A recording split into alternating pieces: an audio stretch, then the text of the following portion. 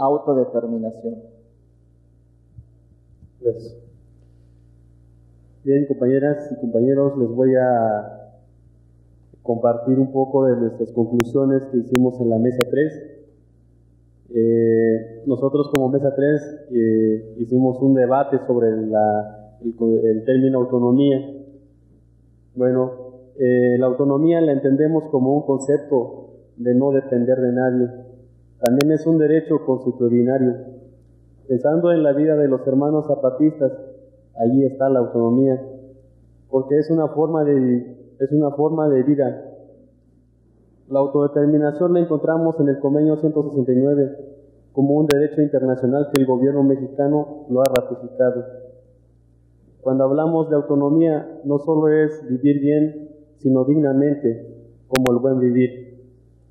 La autonomía es el respeto a nosotros de cómo decidimos, cómo vemos, que todos los proyectos de gobierno en ningún momento nos pidieron la participación como pueblos para imponernos, sino que lo hicieron sin consultarles a los mismos pueblos. Autodeterminación, que tome sus propias iniciativas y propuestas y que no otro decida por esta persona. La autonomía es la costumbre, la tradición que nos cambian nuestra historia y nuestra palabra.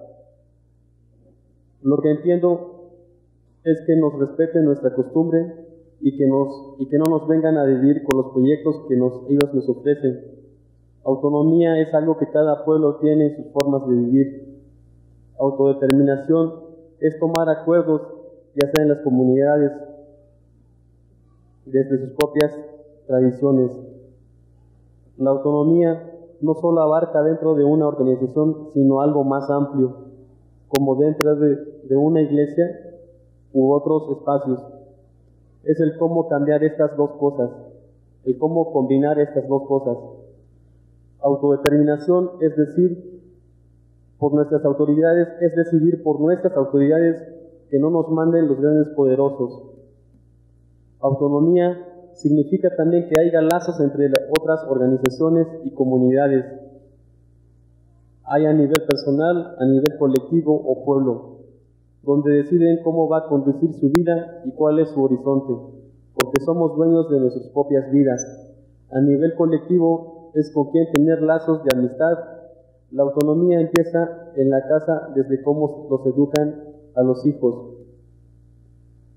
Las autonomías se da de muchas formas y vemos como un proceso de liberación. Y es un concepto más antiguo como lo conocemos, y veo que la autonomía se maneja en el territorio, sin ello no hay autonomía. El respeto a las creencias religiosas, por ejemplo. Con las juntas de buen gobierno nos muestra una forma de ejercer su autonomía, toda esta en una constante construcción, pero también en una constante lucha y resistencia. Una autonomía urbana se da como los anarquistas en México, en el DF, como las policías comunitarias en Guerrero, y también en Brasil y en otros lados. Un ejemplo es en Bolivia, donde el presidente, montándose el concepto de autonomía para convencer al pueblo sin tomar en cuenta la palabra de los mismos. Para mí la autonomía no viene de ningún gobierno. La autonomía es un proceso para alcanzar la libertad con disciplina, desde la manera de pensar hasta sobrevivir. dentro del, debate de la autonomía, eh, una de las cuestiones que nos costó mucho destrabar es que eh, no somos tan autónomos, todos no somos tan autónomos porque todos estamos sometidos bajo una sociedad que nos impone una forma de vida desde las mismas comunidades o pueblos. Es como encontrarnos en las fronteras hasta donde empieza y termina. Conclusiones y invitaciones eh, como tercer punto, como lo abordamos el, el tema de autonomía.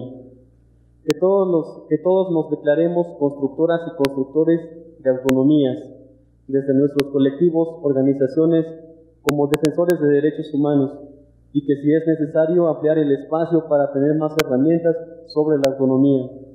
En Chiapas, una de las personas que impulsó la construcción de la autonomía fue Tatik Samuel Ruiz García. Gracias.